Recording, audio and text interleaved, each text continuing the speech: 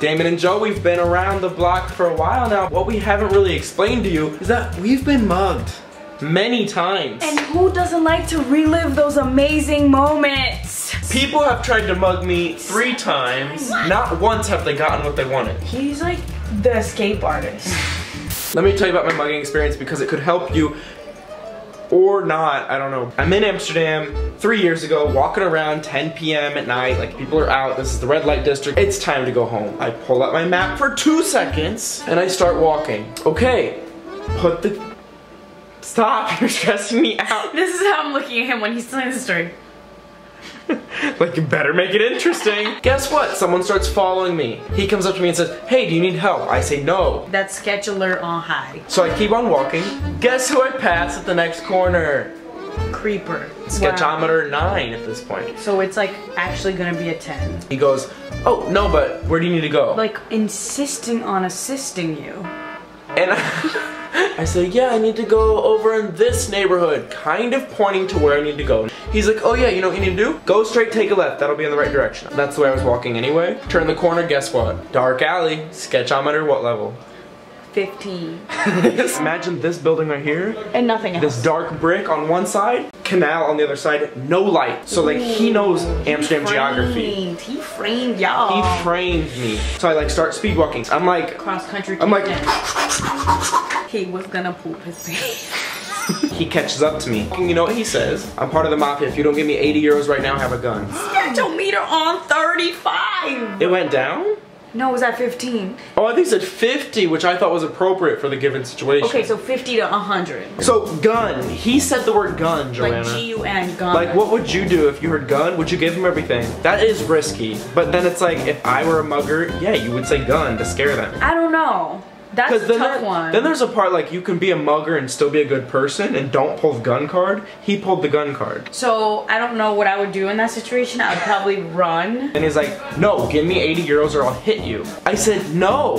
Finally, I got to the main street and he left me alone. So basically what we have here is a situation. Damon has done this several times. He has said no to muggers. Anyway, second situation. I'm on the Paris Metro at 8 a.m. going to my class. Tuesday morning. This is a separate mugging situation. Separate mugging. Some guy sits in front of me. He has a hood on. You know what he does? He stands up like this and he looks at me. And I'm not gonna look at you if you're doing something weird on the subway. So then he goes like this. Oh, I hate when they do that. They snap. Like, don't, snap in my face. Don't do that. I am not a dog. And he says in French, give me your phone. I'm like, why would you want my phone? He's falling off. It was a Yeah. bad phone. He's speaking more in French, like, give me your phone now. And then like saying like mean words. You know what happens? The train stops. And I'm like, this is my chance. I stand up. And you run out. Mm-hmm. The third time I got mugged was what? In the grocery store when uh, Clochard told you to buy his groceries or he would Oh, and I told him no. We were on the train platform and that guy came up to us so sketchy. No, he came up to me like really close. You can sense that the sketchometer is getting a little higher when somebody is this close to your face. Like, Why are you in my acne zone?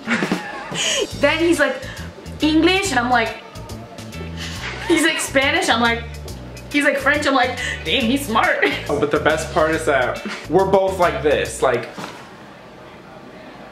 And then Damon's like, no. I'm like, why? I'm like, sorry. Had to spice it up a little Oh bit. Rule number one, do not reveal your nationality. Never speak English. Always use your head motions.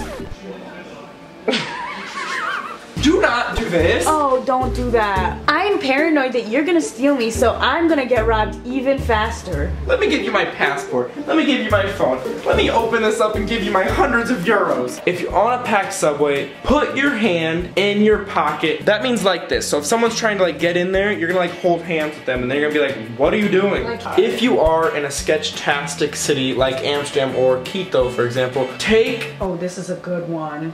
I know, take scammer money every time you leave the house. You need to have 25 cents for the bus in one pocket and 75 cents in the other pocket for the robber. Just so you have something to give them so they leave you alone. Also, when escalators, do not put your backpack on your back, hold it in front of you because somebody could easily like, bloop. Okay, so obviously Jo and I have different ways to approach muggers, scammers, gypsies. Do you, like if you think you need to give your phone, give the phone. Don't just Right. be like, well Damon told me I should stand up for myself. Material possessions, they come and go. Your life, boo boo, that's important. You need to be in tune with your sketchometer response system because we all have that.